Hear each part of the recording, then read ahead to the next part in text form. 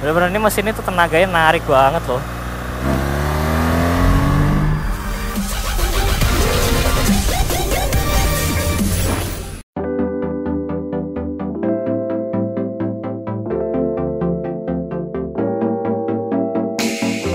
Halo semuanya, selamat pagi. Ini gue Dendi Mas di sini dan ya, gue lagi tidak di channel gue, tapi gue di channelnya Autonets. Dan kali ini kita akan nge-review ini, WW GS 1200 Adventure.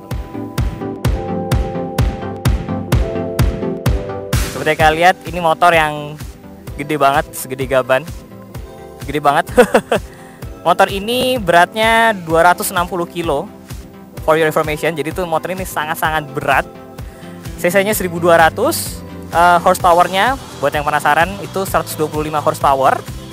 Uh, mesinnya boxer, jadi keluar kiri kanan. Dan seperti yang lo bisa lihat kalau dari depan gambot banget. Bukan gara-gara nggak ada alasannya ini, gara-gara tangkinya itu bisa 30 liter. Jadi 30 liter mungkin sama Honda Brio banyakan ini kali tangki bensinnya. Jadi emang ini gede banget. Seat height-nya for information gue cuma 167.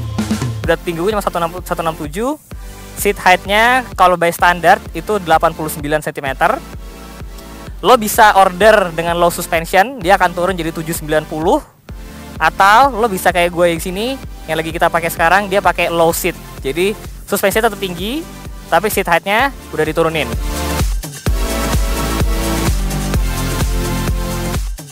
Jadi seperti yang bisa kalian lihat, motor ini kan gede banget dan kalau di belakang sini itu ada tralis. ada beberapa orang nyebut tralis, tapi ini sebenarnya bukan tralis. Kenapa? Karena kalau lo beli motor ini itu lo dapat tas di samping dan juga tas di atas. Jadi ini sebenarnya pegangan buat tas. Terus lo juga yang GS Adventure ini, lo lihat tralisnya juga ada di depan. Ini juga bukan tralis. tapi ini pelindung pelindung jadi kalau emang kan motor adventure jadi kalau jatuh biar melindungi mesin dan bodi lo dikasih pelindung seperti ini kemudian ban depan dari motor ini tuh 19 inci yang belakang 17 inci jadi emang cukup tinggi dan cukup besar motornya. Kemudian lampu depan dari motor ini itu full LED semuanya. Jadi motor ini tuh udah bener-bener nggak ada lagi bohlam, semuanya LED, sign LED, lampu utama LED, high beam LED, fog lamp termasuk. Ketika pembelian itu juga udah LED. Motor ini itu bener-bener well engineered banget. Of course lah, it's Germany, so is uh, properly well built. Like for example di depan di lampunya itu ada air vent-nya. Kenapa? Karena kalau traveling jauh naik motor lampu akan panas. Jadi sama BMW udah disiapin air vent-nya di depan biar lampunya bisa tidak panas. Kemudian seperti yang lo bisa lihat di bawah sini mesinnya udah boxer. Keuntungannya apa sih? Kenapa sih boxer gitu? Boxer engine itu apa untungnya? Boxer engine itu adalah keuntungannya adalah low central of gravity. Jadi walaupun motor ini tuh tinggi, tapi karena dia mesinnya boxer di bawah flat twin, itu central of gravity itu benar-benar rendah di bawah. Jadi itu membuat lo sangat mudah untuk bermanuver. Kemudian kalau dari depan kita lanjut ke belakang seperti yang bisa lo lihat di sini itu adalah uh, gardan jadi motor ini itu single single arm di sebelah kiri um, dia pakai gardan jadi udah nggak ada lagi rantai udah nggak ada puli nggak ada belt. Kenapa? Karena ini low maintenance banget. Jadi lo nggak perlu lagi mikirin aduh mesti ganti oli rantai mesti apa. Kalau ini pure aman karena udah gardan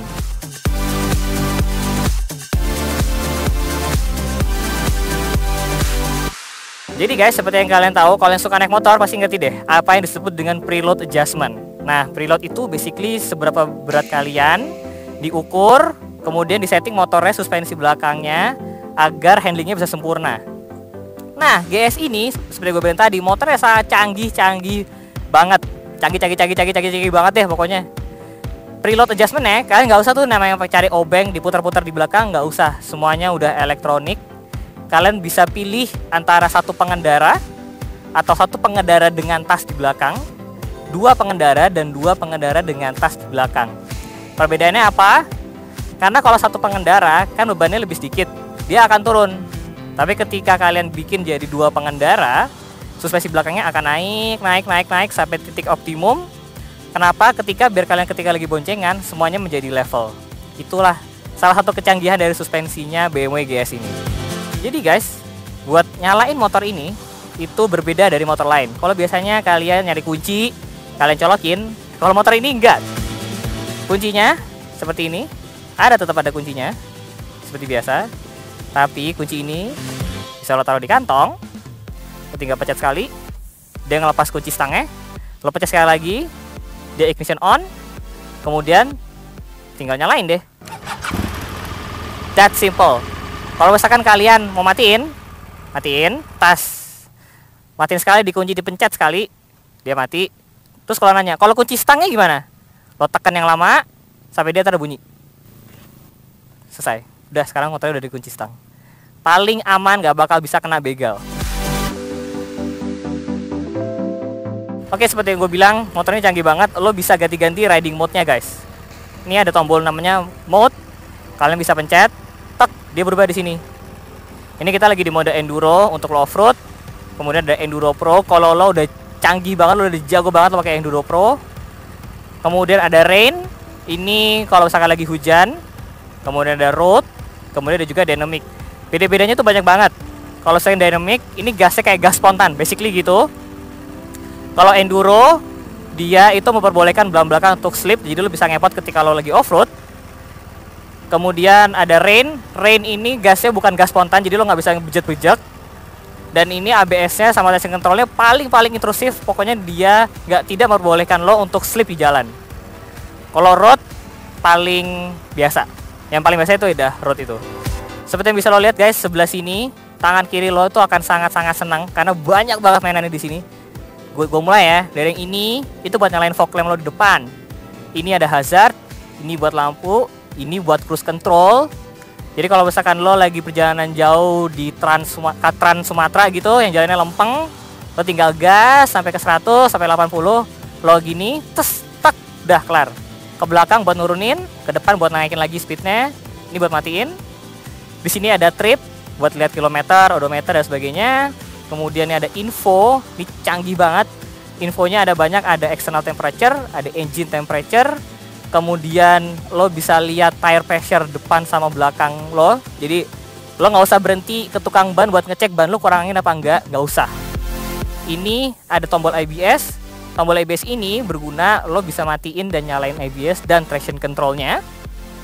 Ini ada tombol yang kayak per ini tombol suspensi. Kenapa? Karena lo bisa ganti keras empuknya dari soft normal sampai ke hard. Kemudian lo juga bisa mengubah dampingnya yaitu bersendiri sendiri dengan penyer atau dengan tas, berdua berdua dengan penyer. Terus kalau misalkan ternyata motor ini dipinjam sama saudara lo yang jauh lebih tinggi dari lo dan dia komplain kalau kok muka gue kena angin terus sih, padahal udah ada windshieldnya, nggak ada masalah pak. Dengan tombol ini bisa lo putar dan dia windshieldnya akan naik. Jadi bisa mengakomodasi orang yang lebih tinggi dari lo.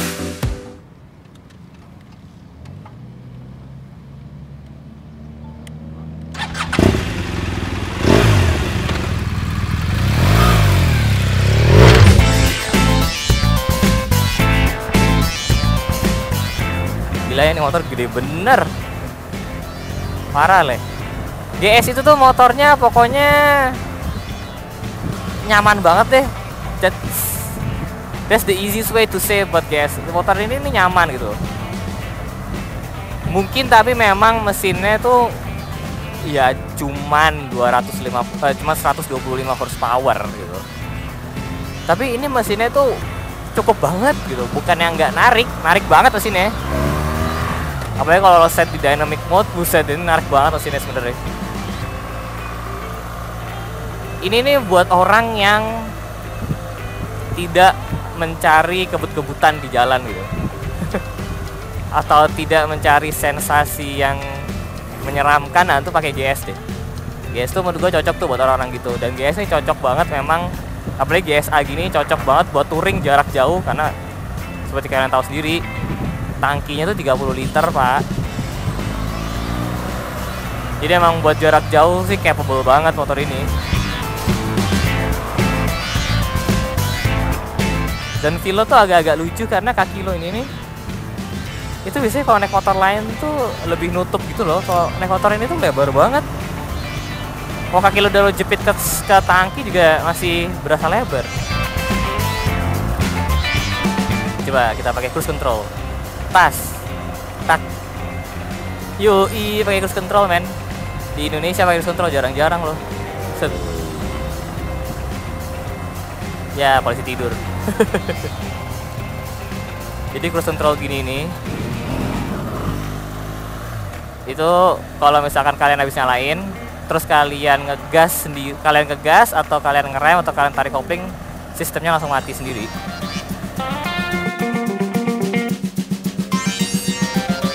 jadi kalau di jalan raya kayak gini GS ini enak-enak banget.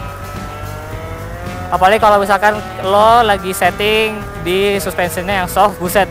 Empuk banget pak. Bener-bener empuk banget. Lo bisa ngerasain bedanya antara yang hard normal sama yang soft. Lo bisa ngerasain banget bedanya. Terus ini juga udah ada quick shifter. Jadi kalau lo lagi revving yang tinggi lo lo ganti gigi.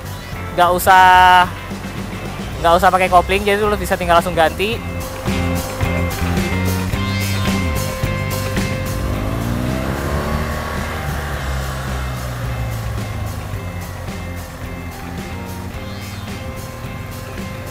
Kalau lagi pakai suspensi yang soft gini itu bener-bener kayak naik seri 7 nya BMW seenak itu.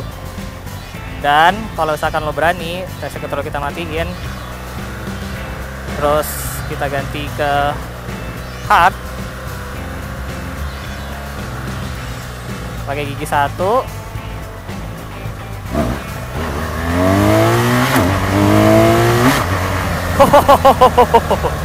Ban depannya bisa naik anjir.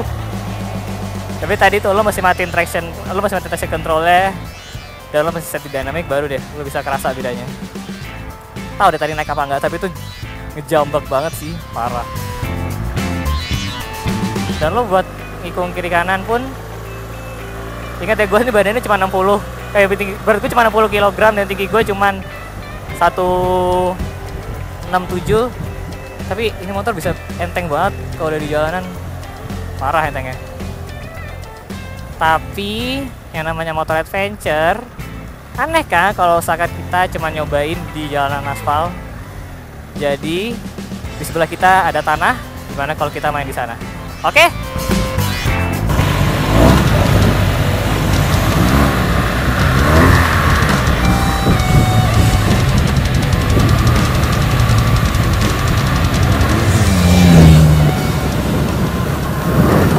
Yo. Walaupun gak lancar-lancar amat tapi udah lumayan itu seremnya. Jadi kalau lo pakai mode enduro, mesin itu memperbolehkan lo untuk sedikit slip di belakang. Kenapa? Karena kalau di tanah lo butuh sedikit slip itu biar lo bisa ngontrol motornya lebih baik lagi. Ini padahal gue masih pakai ban aspal loh nih. Kalau ini pakai ban tanah, pakai ban ban pacul, traksinya akan lebih dapat lagi nih jadi di sini memang BMW tuh bisa banget bikin motor yang lo pakai ban jalan ketemu tanah begini doang lo masih aman banget masih dapat banget traksinya dan walaupun mesinnya cc nya 1200 dan bodinya berat tapi kalau lo udah di tanah begini lo bisa berdansa. Stella berdansa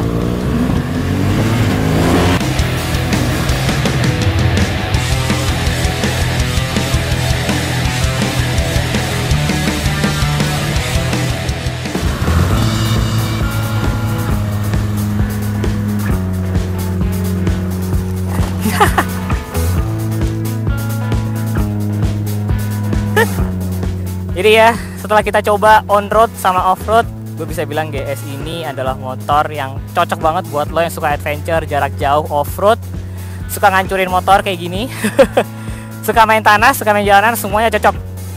Oke kalau gitu segini dulu review Denimas untuk Autonets. Stay safe di jalan guys, and I'll see you guys on the next video. Cheers!